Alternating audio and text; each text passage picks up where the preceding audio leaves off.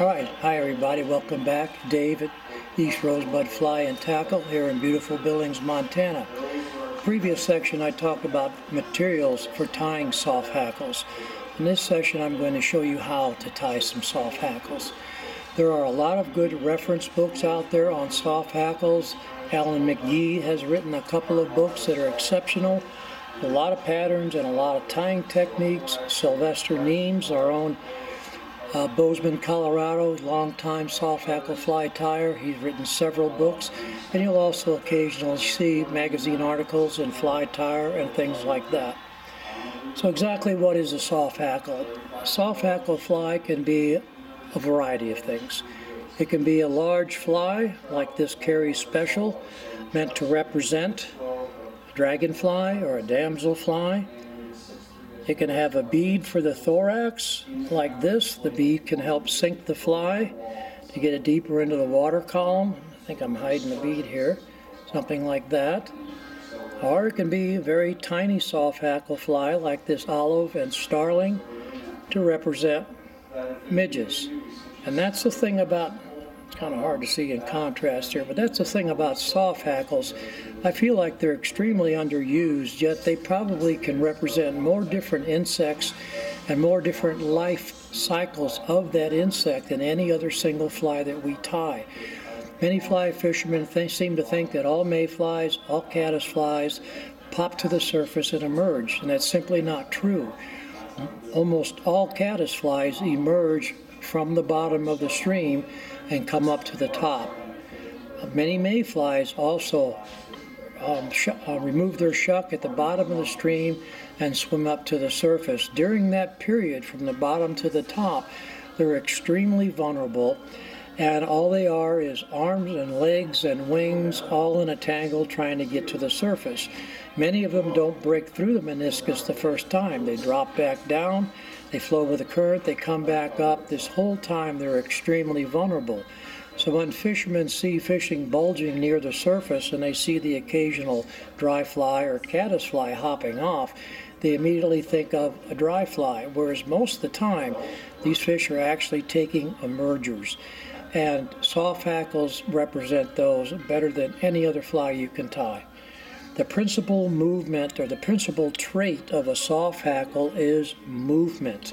And that's why we use soft hackle material like grouse, pheasant, um, partridge, and things like that.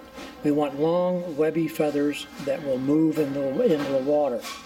I already talked about the types of soft hackle materials in the previous video, so I won't go over that again.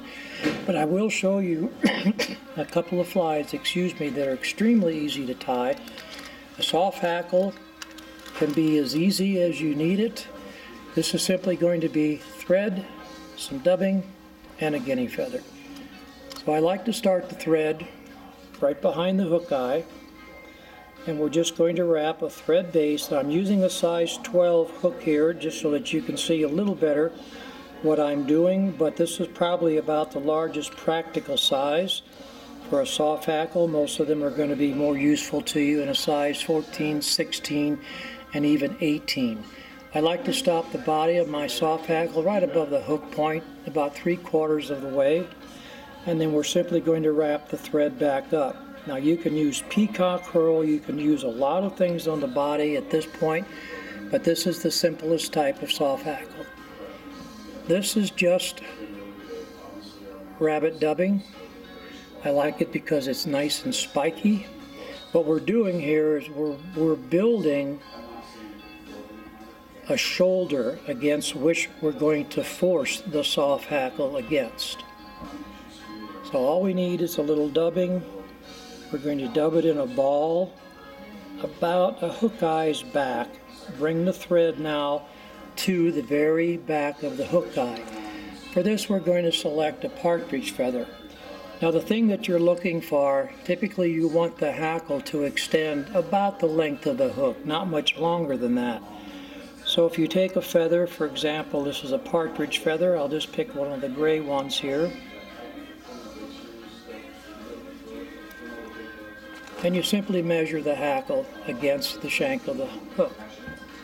All we're going to do is grab it by the tip here, bring the hackles back a little bit so that they're extended, and we'll measure them against the hook. As we get down the shaft of the feather, I'll remove this fluff. You can see that the barbs get longer and longer as we get down from the tip to the shaft of the feather. So we want to find the happy medium in here where we have hackles that are just long enough for our use. So again, if we measure these,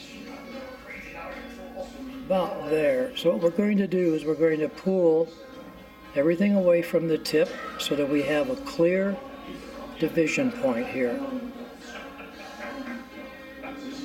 All right, the hackle is going to be tied on with the dull or the concave side facing up, and we're going to wrap it backwards. So what I like to do to make the first wrap lay better, I take a few fibers on the far side and cut them as close as I can to the shank. And then we get again our division point, and we lay our division point right at the back of the hook eye. One wrap of thread around it to hold it, and then one and a second wrap back towards our thorax. Now our thread is hanging right in front of the thorax. Clip off the tip of this. Now partridge is fairly fragile. Not as fragile as starling, but it's still fairly fragile, so you have to be careful as you wrap. So this first turn going to be taken up by the hackle that we clipped off so it doesn't get twisted under the hook. And as you make your turn carefully, you want to stroke these hackles back or making turns back towards the thorax where our thread is hanging. Typically Two turns is sufficient. You do not want to over hackle a soft hackle fly. It inhibits the movement. Now with our hackle held up, we're going to make one wrap of thread right against the front of the thorax, one wrap of thread through the hackle to reinforce it, and then our last wrap right behind the eye of the hook. Reach in with your scissor tips and clip off that stem. Now it looks like a, a bad hair day right now, and this is why that thorax is so important.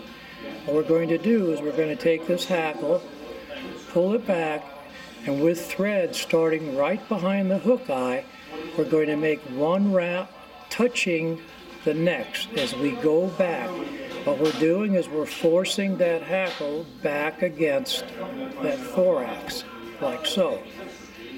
So we've only made three thread wraps back and we're going to make a three wrap quick finish forward. That keeps a small, neat head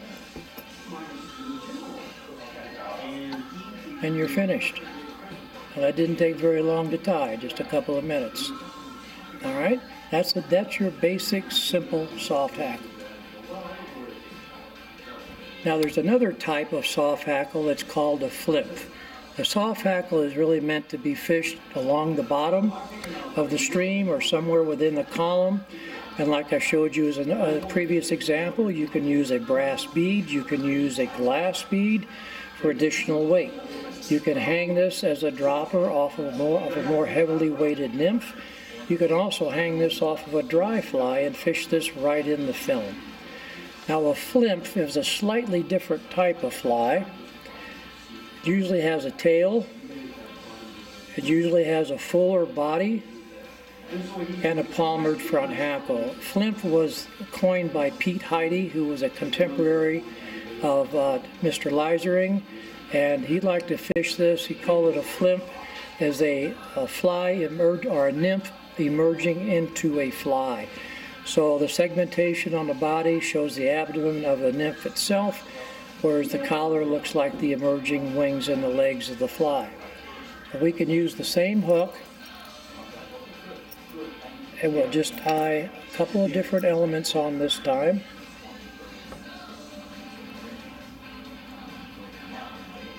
Okay, I'm going to start the thread here just get it started.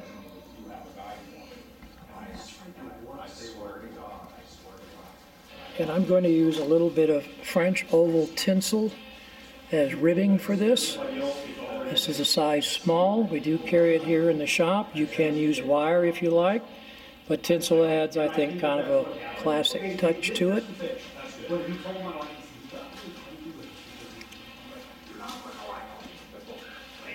We're going to tie this on the far side of the hook since we're going to use it to wrap and reinforce our abdomen. Catch it there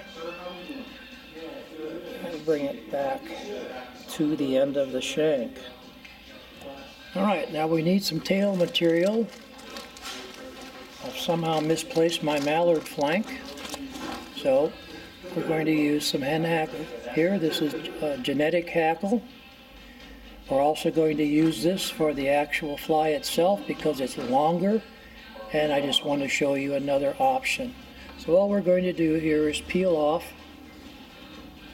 straighten out and peel off maybe 20 fibers. We want a tail that's about shank length. That's not very even, I apologize.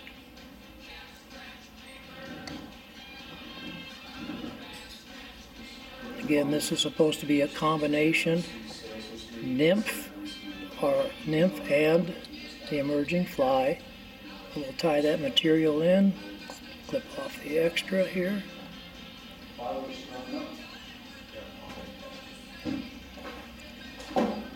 Down the butts and then we'll come back here just a thread short or two of the back to give us room to get our dubbing started. You can use a variety of different dubbings. You can use peacock herl. Peacock makes a marvelous fly. Of course, it's been called trout candy by a lot of fly tyers. It seems to be irresistible to trout. So, unlike the soft hackle, we're going to dub a little longer body here. Bring our dubbing back so it starts right at the back. Build it kind of a taper as we go forward, just like you would a mayfly abdomen.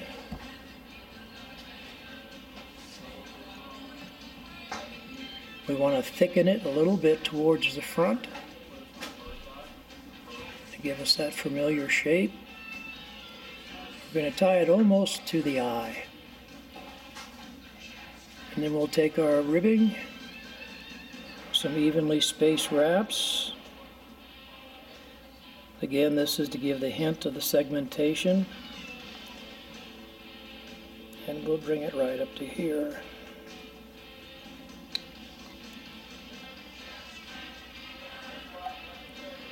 Alright, I am going to increase the bulk here a little bit for our soft hackle to lay against.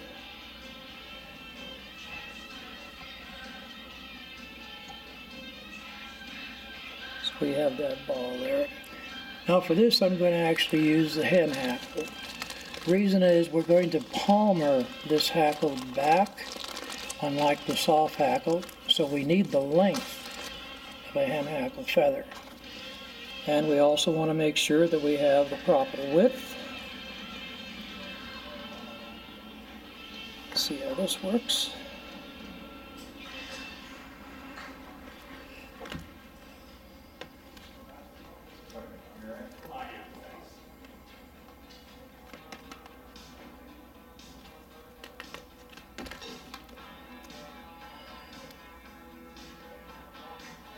So we stroke these fibers out and we check the length. We see that we're very close to what we want. All right, the same principle as before. We want a division spot and we want to tie this in upside down. This time, however, to preclude having a bunch of hackle trapped under as we wrap, I'm going to peel off the hackle of the side of the feather that's going to lay against the hook. It'll take a few more turns to get the hackle that we want, but the feather will lay a lot nicer. So again, we'll take our division point here, tie it right behind the hook eye.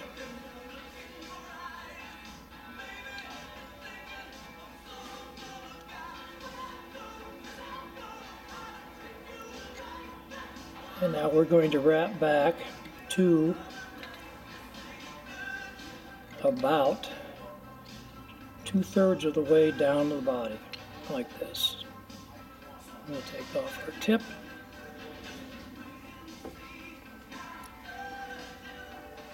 Now, again, unlike the other soft hackle, this hackle is going to be palmered just a little bit. I use the same technique when I'm palmering a woolly bugger. It makes the hackle lie just so much nicer. You can see how the bare stem is against the hook itself, and we don't have any problems with hackle binding. Going to wrap back to where our thread is hanging a wrap there and then a couple of wraps forward to reinforce that hackle so that it does not break the first fish that you catch. Once again, we're going to get the front part of the hackle, groom it back a little bit, tie threads with touching turns back to force that hackle back, and then we'll do our whip finish forward. An errant fiber there.